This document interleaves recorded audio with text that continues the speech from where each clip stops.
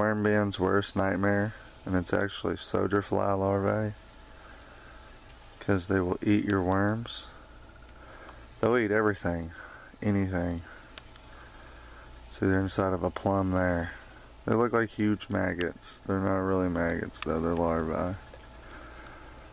But they're very bad for a um, for a worm bin. Now, for a compost bin, they don't hurt nothing because they just break stuff down, but they will kill your worms.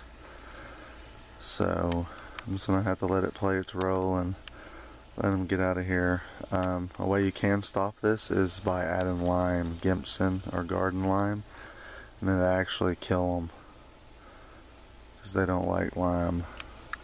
Oh, they're all went and hid. They're in there. It's pretty dark. Y'all can't see on camera really. But yep, that's soldier fly. Very bad thing to have in a worm bin.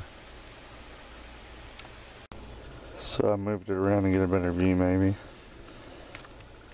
See if we can get a view of them for the run off in the dirt.